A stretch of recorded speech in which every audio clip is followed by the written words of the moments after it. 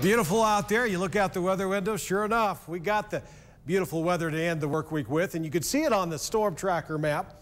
Yeah, no storms over Idaho anywhere, even up to the north. A few clouds, we'll call it mostly clear. What a nice way to end that work week. We're not going to stay this way, though.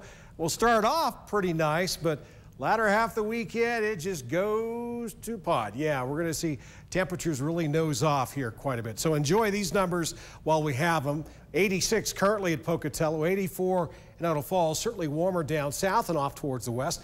A warm spot on the map goes to Pendleton, Oregon, 96 degrees. Wow, that's a little more than just warm. Hot over in Lewiston at 94 down in Elko, Elko at 92. So tonight's forecast mostly clear. Low temperatures will mainly be in the 50s. One exception, American Falls, you'll see a low of about 60. St. Anthony will be in the 50s. Mid 40s in Stanley, 53 expected in Salmon. Mackay around 53 degrees. Arco will see a low temperature of 53 as well. Mostly clear for the upper highlands in western Wyoming. Lows will range from the mid 40s to the mid 50s. 53 in Dubois. 52 will be the a low temperature over in Driggs. So a quiet night out there for everyone. Even the southeast corner, a couple of clouds this evening for good measure, but that's about it. Near uh, 50 in Soda Springs. Montpelier, you're looking at a low of 47. Then tomorrow, you're a little warmer, Montpelier, along with the rest of us.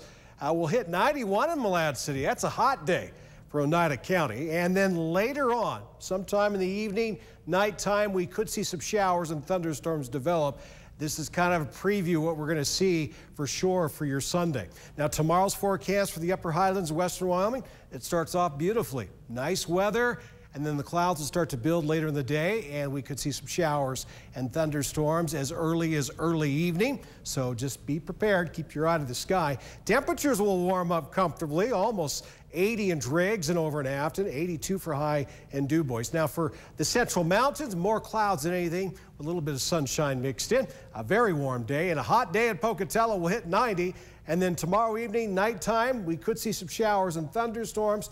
Rexburg warm with a high of 86. Southeast Idaho Chevy dealer seven day forecast. Here it goes. Down it goes, I should say. Sunday, wow. 30 degrees cooler for an afternoon high. We got some wind, rain likely, umbrella weather for sure, risk of thunderstorms. And the coolest day coming up will be on Monday, only 58 degrees. Thankfully, that's not going to be uh, stick around for too long. Idaho Falls seven day forecast, 60. Ah, just a big hit. And if, if, as if 60 wasn't cool enough, Monday high of only 57. For the Teton area, no snow in the forecast for Jackson, Afton, or Driggs, but definitely a possibility in the Tetons. A wet end of the weekend and cooler, couple of days only in the 50s. We could see some showers and thunderstorms linger into next Wednesday. And for the Central Mountains, dry tomorrow, but as you can see, not so dry on Sunday, not so dry on Monday only 55, keeping the wet weather around at least until Tuesday.